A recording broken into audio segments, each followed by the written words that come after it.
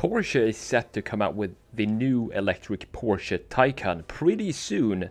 And I wanted to see what would happen if we sketch up a concept that instead of having four doors, as the Taycan has, instead of having four doors, we turn it into a two-door coupe. I wanted to sketch that up in Photoshop just to have some fun and see how that was going to turn out. So that's exactly what I did here in this video and I wanted to share it with you, of course.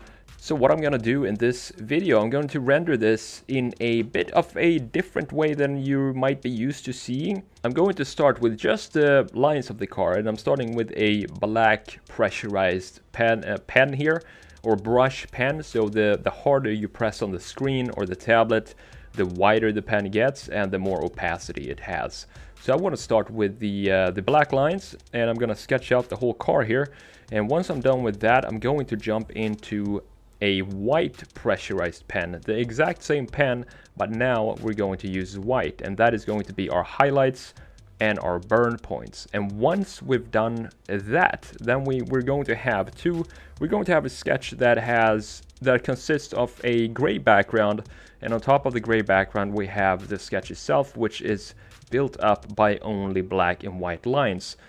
Now that we have that structure, we can start to add some airbrush to this. And the thing is, when you have the structure done already, the airbrush becomes so much easier. You just put the lines as the top layer in the sketch, and then you start by adding layers underneath that top layer. And that means that when you're sketching with airbrush, the lines are always going to be on top and you're not going to airbrush over them. That means that you're always going to have your reference sketch available to you. And it makes it really easy to understand where the highlights and the shadows go. The idea here with this design is to create a small Porsche that is completely electric. It doesn't have to be a Taycan two-door, it can be a new Porsche model. So when it's electric, that means that we don't have to have huge air intakes in the front. We can have it be a smooth front with some Taycan style headlights.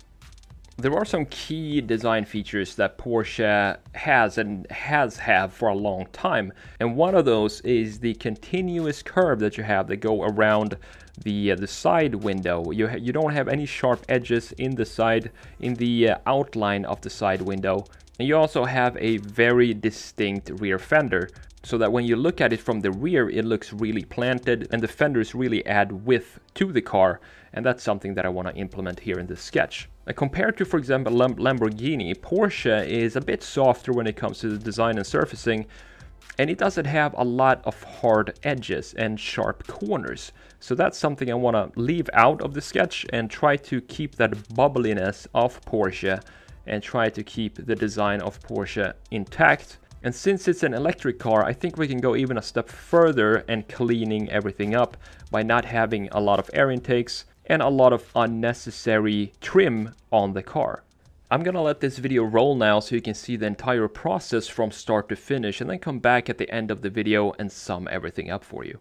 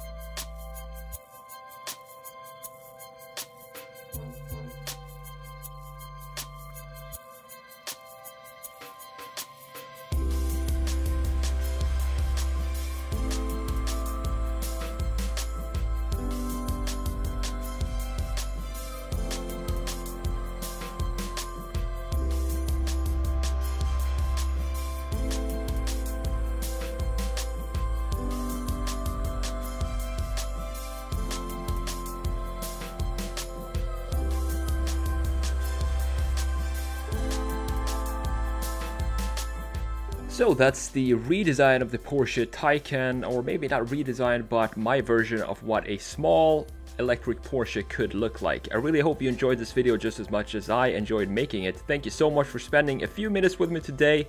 I'm the Sketch Monkey and I will see you in the next video. Take it easy.